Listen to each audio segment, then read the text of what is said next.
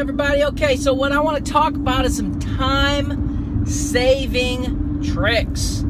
I mean, this could be in any aspect of what we do. Let's start with, for example, banking and paying bills. Now, if you are still out there paying bills by, like, you get the bill in the mail, and you look at the bill and it says you owe $125, and you pull out your checkbook and you write uh, ABC insurance or whatever, and then you fill the whole thing out and you cut off the tear off the bottom, and then you get there an envelope and put the address, put the bill, put the envelope, st- wrap the whole thing up, put a stamp on it, and mail it. Now, took me that long to say it.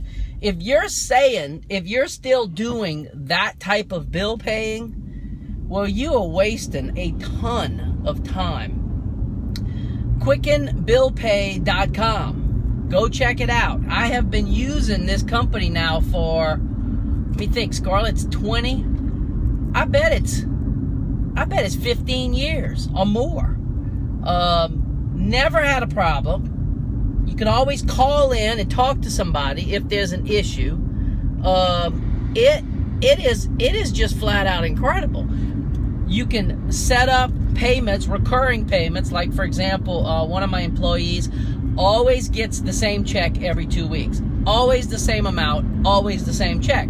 So we got her set up as an automatic recurring payment. It gets mailed straight to her bank, goes into her bank automatically. Now there's there's all kinds of online banking type services. Uh, all companies, almost all of them, will allow you to pay bills now online. But even that is time consuming if you have to search out and seek out every individual company and go to their particular website and blah, blah, blah. Okay, so just consider that one little time saving trick. Another time saving trick is to get organized. Um, I noticed just the other day, I cleaned up around the studio. I had a customer call up and said they're going to be 30 minutes late. So I figured, well, I'm going to spend this 30 minutes just getting organized. And I moved a few things around. I was kind of thinking about what I was going to do and getting everything step one, step two, threw out the trash, threw out some, some things that had piled up. And, you know, this time of year, just that kind of stuff, it just happens.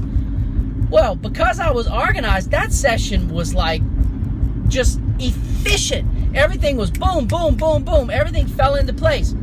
As a result, I went home extremely early that day.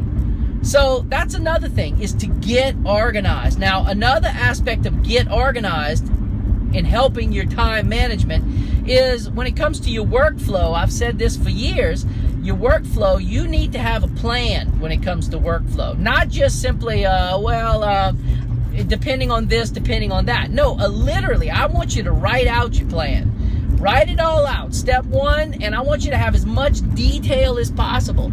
By doing that, you can pick out little nuances of your workflow plan that you can eliminate.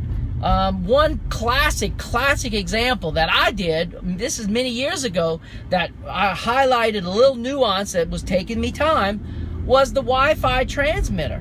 Um, Canon had just come out with a Wi-Fi transmitter. This is again several years ago, and now every time I buy a camera, I, I get the Wi-Fi transmitter because I can't live without it, and that's because it just saves me that much time. I estimate seriously in the course of a week, if I do two sittings a day, um, and I do that Tuesday through Friday, that's eight sessions.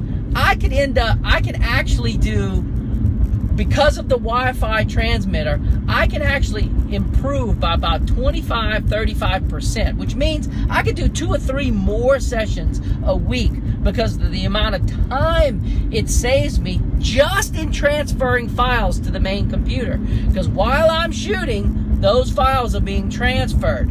So little things like that. I want you to run through your studio.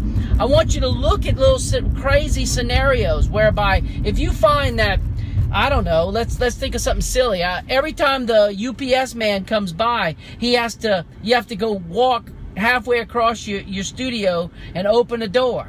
Well, what if, what if, and I, this is radical, but what if you put a, a special service entrance right there, right where you need the stuff? Uh, we did that, and that way we have a, a special entrance for the UPS guy and for the FedEx guy. That way they just come right there and they plop it right down where we need it, as opposed to coming in the front door and we have to get up, we have to go greet them, blah, blah, blah. And all these things are little, but all these little crazy nuances over the course of time add up to time.